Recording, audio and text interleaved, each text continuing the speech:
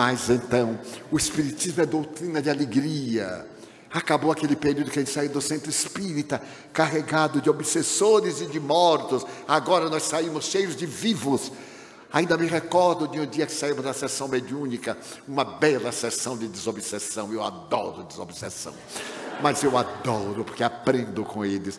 E o meu amigo, um médium de muito valor, diz assim: Edivaldo, eu adoro a reunião de desobsessão, porque nós fazemos a caridade. E ele veio com um obsessor.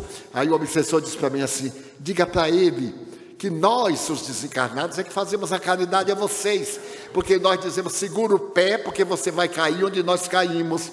Então estamos fazendo a caridade de adverti-los. Não são vocês que estão nos advertindo, não nós.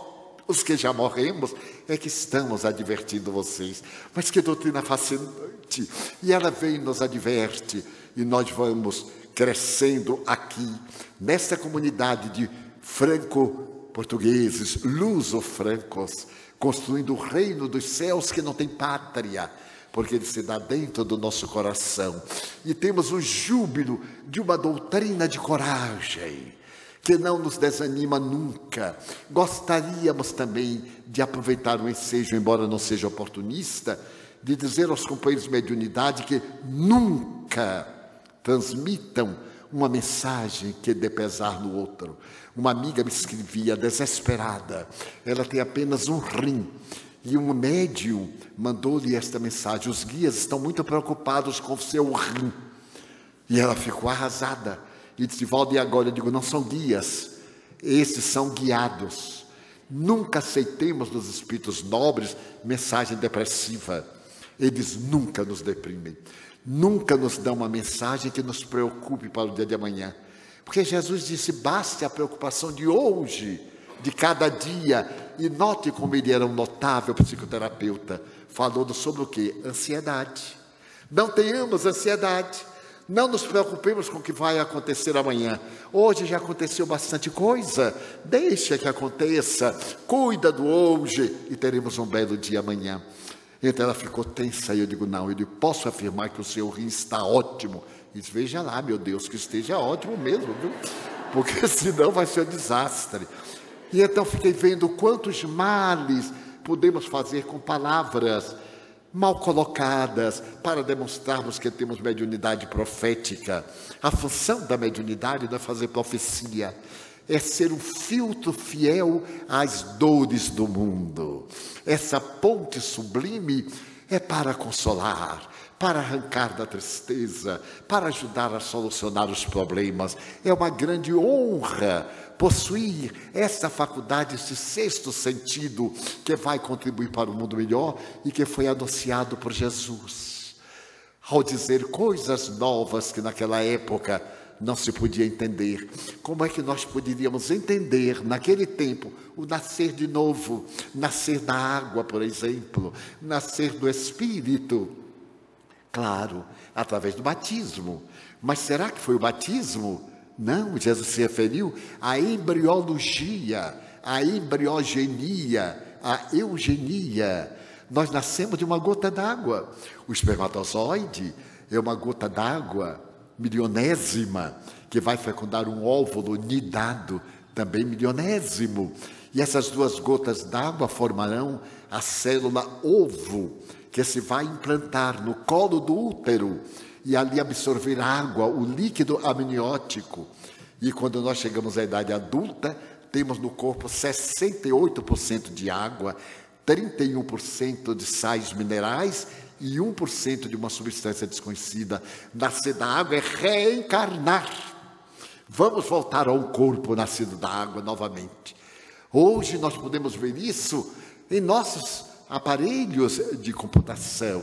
Vê desde o momento da fecundação o óvulo, logo depois o ovo, o germe, passar por todas as fases que nós já transitamos do reino animal, desde as fases grotescas das águas submersas, das águas submarinas, as diferentes fases dos animais cujo corpo nós tivemos até chegar ao estado bípede, para daqui alcançarmos as alturas. Então a doutrina espírita traduz o evangelho na sua magnitude, com uma beleza incomparável. Então chegou na hora predita, na hora das grandes dores. Para mim, chegou num momento muito especial, em que eu estava nas vascas da loucura com a mediunidade, em que estava na paralisia de um leito, que poderia esperar, jovem de 17 anos, dementado, esquizoide, paralítico, se não fosse duas mãos generosas de uma senhora caridosa que me foi aplicar a caridade do paz. Nós que tanto falamos em caridade, é assistência social. Pode ver maior assistência do que aplicar as nossas energias. Eu adoro dar paz, porque eu me dou a mim mesmo sem que a direita saiba o que a esquerda está fazendo. Porque tudo que eu dou, eu tive, mas quando eu paz, eu me dou, eu dou a mim mesmo. Daí eu trabalho para não fumar, para não ter toxinas, não beber alcoólicos, para não ter substâncias perdidas, a ter uma vida sexual honrada, para não ter a presença de miasmas e de espíritos que se nutrem do plasma sexual. E assim por diante. Mentir, um pouquinho só. E perguntaram um dia a Chico Xavier, porque o povo é de morte, pergunta tudo. Chico Xavier, você mente? Ele disse, não. A pessoa disse, mas já é uma mentira. Ele disse, não. Eu não minto, eu adio a hora de dizer a verdade. Então eu também, porque nem sempre a pessoa aguenta a verdade. Então a gente sorri e diz aquela coisa suave, que não é mentira, é uma pintura para a verdade mais tarde. Então, que é fascinante poder aplicar energia e dizer intimamente: Eu dou o que eu tenho de melhor. Permitam-me contar um fato da minha juventude. Quando a gente começa, quando eu comecei, eu adorava dar paz. Porque eu adorava ver o espírito obsessor sair, os guias chegarem e levarem, eu ficava alegríssimo. E então já vivia com as mãos assim, a pessoa dizia, Valdo, estou com uma dor. Eu, toma meu passe. E certo dia eu fui aplicar um passe a um homem que tinha um câncer. Eu nunca tinha visto um câncer daquela natureza. E quando eu cheguei, era um câncer ganglionar. Toda a fila de gânglios estava inflamada. O corpo estava com os tumores expostos. E quando eu vi o tórax, mas eu tive um choque. Mas fiz de conta que não, a esposa ao lado, três filhos chorando, e aquele homem se ultimando. Eu então disse: Meu Deus, eu tenho tanta saúde, eu tenho tanta energia, eu, vou, eu dou dez anos da minha vida para Ele que é Pai. Eu não tenho ninguém. Ainda nós tínhamos a mansão do caminho. A minha vida é meio inútil, então eu dou. Ele tem os filhinhos para criar e me tornei um bom advogado. Viu? E disse assim: Meu Deus, tire dez anos. E apareceu o doutor Bezerra Doce amigo, eu perguntei, doutor Bezerra, ele vai ficar bom? Doutor Bezerra disse, vai, meu filho. Eu digo, opa. Aí eu apliquei um passe, suava e aplicava um passe. Quando eu terminei, a esposa perguntou, então, Divaldo, eu digo, calma, ele vai ficar bom. Olha a leviandade, ele vai ficar bom. Ele disse, ah, mas os médicos desenganados. Eu digo, o que é que médico sabe? Diante da sabedoria das divinas leis. Doutor Bezerra disse que ele vai ficar bom. Ele disse, mas doutor Bezerra, doutor Bezerra. E amanhã às 10 da manhã eu estou aqui para outro passe. Muito bem, no dia seguinte eu fui, e quando eu saltei do ônibus e me dirigi à casa, estava uma capela. Sabe o que é capela? Aquela coisa horrorosa de metal na porta, dizendo que morreu alguém. Não tinham mortuários, não tinham casas de vigilância. O defunto era sempre velado na sala de visita. E então eu vi a capela e digo, meu Deus, será que foi a mulher dele que morreu? Porque ele não ia morrer. Quando eu entrei, estava o caixão, a tampa retirada, ela nessa postura, olhando para o cadáver, eu cheguei. Quando eu cheguei, ela me olhou, olhou para ele e disse: Você não falou que ele ia ficar bom? Eu disse, doutor Bezerra, o senhor não falou que ele ia ficar bom? Doutor Bezerra disse: Ficou, meu filho não vai ter mais nada. Então, a partir daí, eu aprendi a interpretar os Espíritos. Quando os mentores disserem, vai ficar bom, chore, porque vai morrer. Quando eles disserem, é, nós vamos ajudar, Deus há de pensar, vai ficar bom. Daí eu passei, eles têm uma linguagem, são fantásticos. Muitas vezes eu estou com problema e digo assim, Joana, o que é que a senhora acha? Ah, meu filho, você já tem discernimento para saber. Eu digo, nossa, que orientação que ela deu, não é? Respondeu ao pé da letra e assim por diante. Porque eles são os espíritos do amor, da caridade. Quando vier alguma dessas entidades com profetismo barato, com certas notícias, são espíritos levianos, vulgares. Eles, adoram, eles adoram ver-nos nessas batalhas. Os espíritos sérios e bons são realmente nobres e nos amparam. Nós estamos na descida, na queda. Eles chegam, olham para nós com infinita ternura e nos dizem: Cuidado, você está caindo. Eles ajudam, sem dizer nada. Muitas vezes eu tenho perguntado à querida benfeitora, minha irmã, eu estou tão aflito. Que bom, meu filho, que você tem forças para resgatar. Agradeça a Deus. E quando eu estou muito alegre, diga assim: Ah, minha irmã, estou hoje tão bem. Ah, meu filho, criando dívidas, não é? Então desfrute, mas lembre que tudo tem um preço.